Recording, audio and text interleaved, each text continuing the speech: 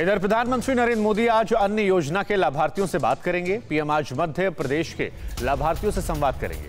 बताया जा रहा है कि सुबह 11 बजे वीडियो कॉन्फ्रेंसिंग के ज़रिए तमाम लाभार्थियों से बातचीत होगी। मध्य प्रदेश में आपको बता दें, चार दशमलव आठ तीन करोड़ लाभार्थी इस अन्य योजना का लाभ ले रहे हैं और आज इनमें से कुछ लोगों से प्रधानमंत्री सीधे सीधे संवाद करेंगे।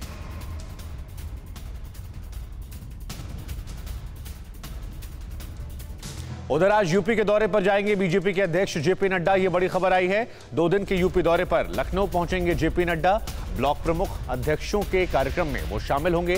पार्टी के विधानसभा प्रभारियों के साथ जेपी नड्डा एक अहम बैठक करेंगे। 8 अगस्त को आगरा जाने का भी उनका कार्यक्रम है। तो ये बड़ी खबर। उत्तर प्रदेश विधानसभा चुनावों के मद्देनजर एक दो दिन का अहम दौरा जेपी नड्डा, बीजेपी के राष्ट्रीय अध्यक्ष का, उत्तर प्रदेश का। यूपी के दौरे पर हैं और उसके बाद दूसरे दिन आगरा जाने का भी उनका कार्यक्रम है। अड़ी सोमवार से शुक्रवार शाम छह बजे, सिर्फ़ टीवी नाइन भारतवर्ष पर।